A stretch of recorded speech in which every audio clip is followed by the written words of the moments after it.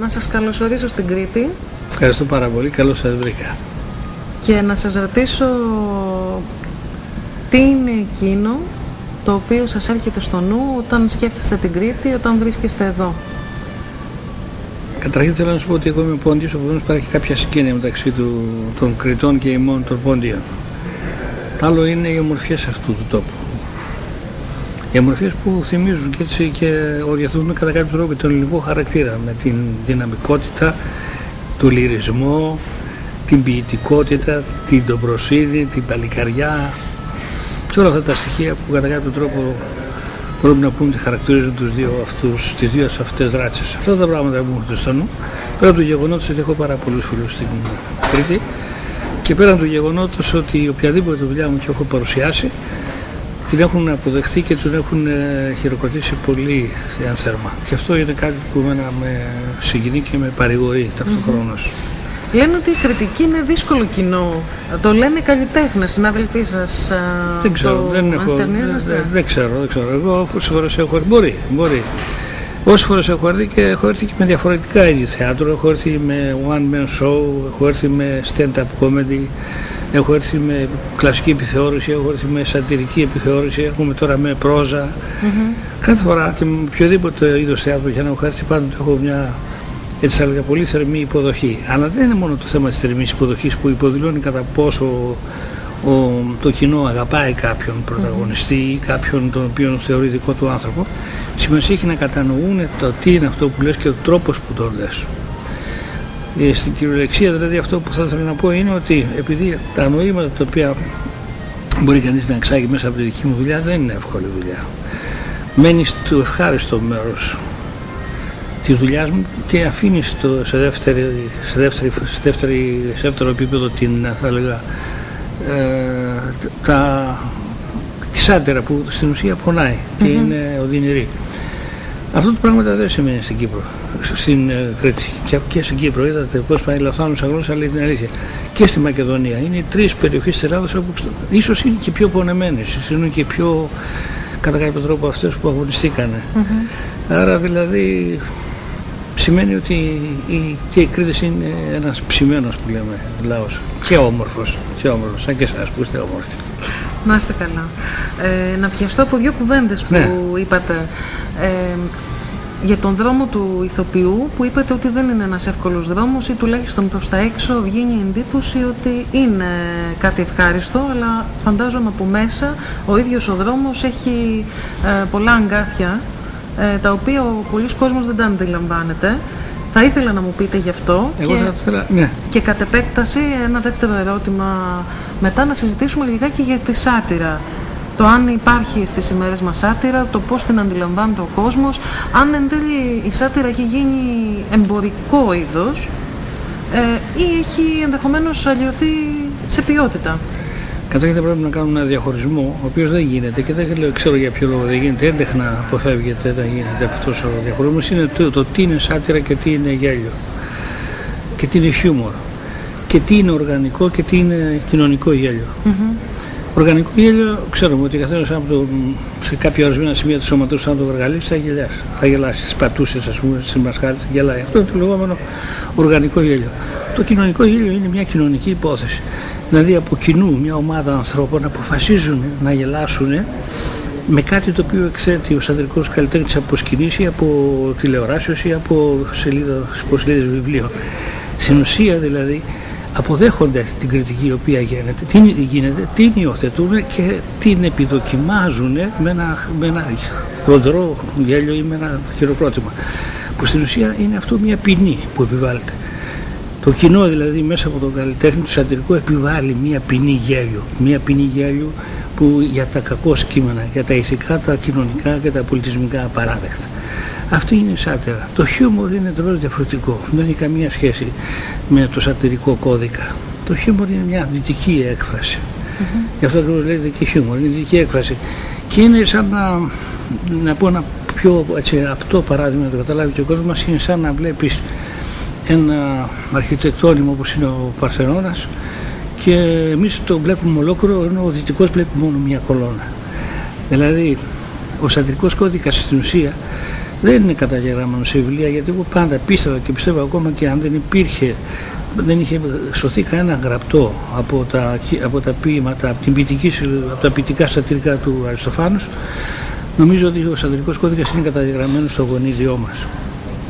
Άρα λοιπόν γίνονται έντεχνες προσπάθειες της για να υποβαθμιστεί η σάτυρα, να γίνει όπως είπατε εσείς ένα εμπορικό είδος. Θέλετε να πείτε ότι η σάτυρα εμπεριέχει και το τραγικό στοιχείο. Ενώ ακούστε, ο δυτικό κόσμος το βλέπει πιο και, κομικά; Ακούστε, ακούστε.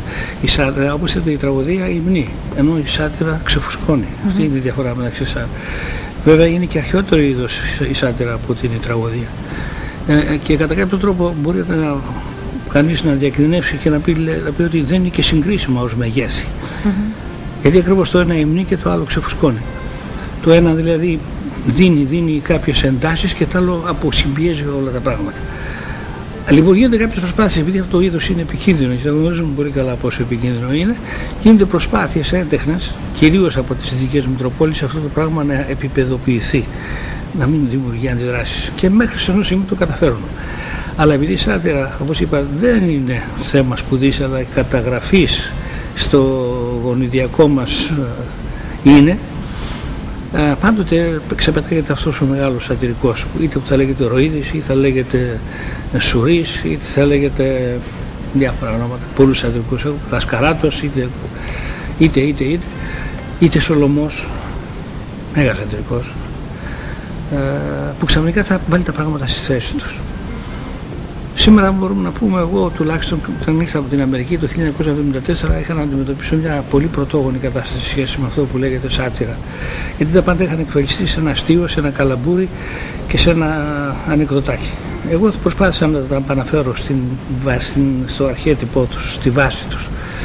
Και είμαι περήφανος για τη δουλειά που έχω κάνει μέχρι τώρα και είμαι ακόμα πολύ περισσότερο περήφανος για, τους, για τα παιδιά που ακολούθησαν και ακολουθούν αυτή τη, τη σχολή πια δεν είναι και τόσο εύκολη. Γιατί ο σατρικό, για να επανέλθω σε αυτό που θέσατε προηγουμένως, είναι κάνει μια πολύ δύσκολη δουλειά. Δηλαδή, ένας άνθρωπος ο οποίος σηκώνεται κάθε πρωί, ανοίγει το νεκροτομείο και προσπαθεί να ασχοληθεί με τα πτώματα. Δεν είναι καθόλου εύκολο να ασχολείται κανείς με τα πτώματα. Αλλά είναι φυσικό ότι δεν μπορεί κανείς να λέει δυσάρεστα πράγματα με δυσάρεστο τρόπο. Mm-hmm. Τα λέει με έναν τρόπο ευχάριστο. Και εκεί ακόμα βλέπουμε κανείς αυτή την σύγκρουση που υπάρχει, την συναισθηματική σύγκρουση που υπάρχει. Και πού είναι οδυνηρή για αυτό που λέγεται ηθοποιό. Δεν είναι απλό πράγμα δηλαδή να μπορεί να λες δυσάρεστα πράγματα με ευχάριστο τρόπο.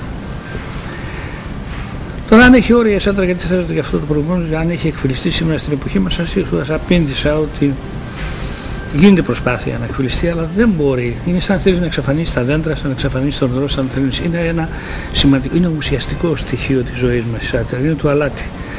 Χωρίς το αλάτι δεν μπορεί να ζήσει, χωρίς το νερό δεν μπορεί να ζήσει, χωρίς τον αέρα δεν μπορεί να ζήσει. Άρα πιστεύω ότι χωρίς άντρας ο άνθρωπος δύσκολα μπορεί να επιβιώσει, τουλάχιστον πολιτισμικά. Ε, δεν, δεν θεωρείτε ότι τα μυαλά των ανθρώπων στην εποχή μας, ίσως και η παιδεία ευθύνεται σε μεγάλο βαθμό γι' αυτό, είναι πιο ο, κλεισαρισμένα μέσα σε συγκεκριμένα όρια και ότι τελικά στην εποχή μας ενώ βομβαρδιζόμαστε από πληροφορίες ο μέσος άνθρωπος κάνει προσπάθεια να σκεφτεί να πετάξει τα σκουπίδια, να κρατήσει ε, Κοιτάξτε, τα ουσιαστικά στοιχεία. Αυτός συνέβαινε πάντα. Συνέβαινε πάντα. Αλλά σήμερα το ζούμε σε μια μεγαλύτερη έκταση. Γιατί, γιατί γίνεται, λέμε, υπάρχει αυτή η δικτατορία των μέσων μαζικής επικοινωνίας και μέσα από τα μέσα μαζικής επικοινωνίας, στην οποία είναι και αυτός ένας οικονομικός πόλεμος, γιατί όλοι οι πόλεμοι έχουν έναν οικονομικό χαρακτήρα. Έχουμε αυτή την επίπεδοποίηση που, που γίνεται μέσα ακόμα και από την είδηση είτε είναι κατασκευασμένη, είτε είναι πλαστή, είτε είναι, είναι υπαρκτή, είτε είναι σημαντική, είτε είναι ασήμαντη. Το γεγονός ότι όλα αυτά τα πράγματα μας σερβίρονται ε, μέσα σε ένα σακούλι και ανακατεμένα σημαίνει ότι εμείς θα πρέπει να έχουμε αυξημένες ικανότητες για να μπορέσουμε να δούμε ποιο είναι το σωστό, ποιο είναι το λάθος, να μπορέσουμε να διακρίνουμε την πρόθεση, να μπορέσουμε να διακρίνουμε αν υπάρχει ειλικρίνεια μέσα σε αυτή την, την τάση της πληροφόρησης που είναι τόσο σημαντική στην εποχή μας και τόσο θορυβόδης mm -hmm. και από την άλλη να μπορέσουμε να μην παρασυρθούμε. Αυτό είναι πάρα πολύ σημαντικό, αλλά είναι μια παιδική αρρώστια που πρέπει να περάσει η ανθρωπότητα και ιδιαίτερα στην Ελλάδα. Θα την περάσουμε για αυτή την ασθένεια. Αν σας ζητούσα με, την, με το μάτι του καλλιτέχνη, του σατυρικού καλλιτέχνη, να κάνετε ένα πολιτικό σχόλιο ε, για την κατάσταση όπως έχει μέχρι στιγμής στη χώρα μας, τι θα λέγατε; Σου το είχα πει και άλλη φορά, ότι τα πράγματα δεν είναι τόσο άσχημα όσο φαίνονται, είναι χειρότερα. Α, η ουσία είναι ότι πρέπει να διαφάνει μέσα από μια σατυρική δουλειά. Αυτό το φαινόμενο το οποίο διαφεύγει της προχής μας είναι ότι η εποχή, τα κόμματα έχουν μείνει πίσω, η δημοκρατία μας είναι, είναι ελλειπής. Ε, ο τρόπος με τον οποίο εμείς πιστεύουμε ότι ζούμε σε ένα δημοκρατικό, μια δημοκρατική χώρα δεν είναι και τόσο ακριβής. Ε, δηλαδή δεν μπορούμε να προσδιορίσουμε τα ακριβή μεγέθη όλων των καταστάσεων τα οποία εμείς ήδη μπορούμε στο δικό μας το μυαλό μας οριοθετούμε.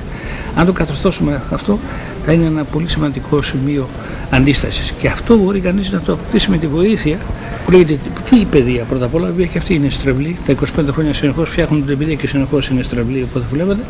Από την άλλη μεριά είναι, είναι η τελειοποίηση αυτού καθεαυτού του εαυτού μας μέσα από τις δικές μας προσπάθειες. Mm -hmm. Και από εκεί υπάρχουν τεράστια βοηθήματα. Υπάρχουν και καλές ταινίες, υπάρχει και καλή τηλεόραση, για να μην τα βάζουμε όλα στον τροβά. Έχουμε και καλούς ποιητές, έχουμε καλούς συγγραφείς, έχουμε καλούς λογοτέχνες. Ε, μα, μαθαίνουμε ευκολότερα πράγματα. Υπάρχει το διαδίκτυο, δεν είναι μόνο η παιδική πορνογραφία, είναι και η γνώση που μπορεί να αντλήσει κανείς μέσα από το διαδίκτυο. Πράγματα τα οποία ίσως είμαστε καθυστερημένοι σε σχέση με τις άλλες ευρωπαϊκές χώρες, αλλά πάρα πολύ σύντομα θα γίνει και αυτό το δικό μας άλμα, γιατί το διαπιστώνω σε επαφή όταν έρχομαι με τις μικρές ηλικίες. Δηλαδή, ουδέν κακόν αμυγέ καλού. Mm -hmm. Κάποια στιγμή εμείς θα ξαναβρούμε τον εαυτό μας. Αυτοί που οφείλουν να βρουν πριν από εμάς τον εαυτό τους είναι τα πολιτικά κόμματα και η δημοκρατία η ίδια, η οποία είναι και στραβλή και χολή. Γιατί ενώ μας είχε δοθεί ευκαιρία μέσα από μια οδυνηρή διαδρομή όπω αυτή της δικτατορίας να εκδημοκρατικοποιήσουμε τις δομές των κομμάτων το μόνο που κάναμε φροντίσαμε να αναπραχθούν οι ίδιες δομές στο χειρότερο βαθμό. Και επίσης κάποιο σύνταγμα το δικό μας το οποίο δεν μπορώ να το χαρακτηρίσω ότι είναι αντιδημοκρατικό αλλά έχει πολλά στοιχεία αντιδημοκρατικά μέσα και αυτό πρέπει να διορθωθεί, πρέπει να εξυγχρονιστεί όπως και ο κανονισμός της Βουλής ο οποίος κατά είναι ένα άθλιο σήμερα. Τέλος πάντων, είναι κάποια θέματα τα οποία αργούν στην Ελλάδα. Και γι' αυτό καμιά φορά λέω εσωτερικά το σήμερα είναι το αύριο που φοβόμαστε χθε. Ε, αν α, μου επιτρέπετε να επανέλθω στο προηγούμενο ερώτημα και να, να συνοψίσουμε έτσι, ε, αν μπορούμε, μέσα σε πολύ κουβέντες, ποιο είναι το δύσκολο κομμάτι του να είναι κανείς ηθοποιός;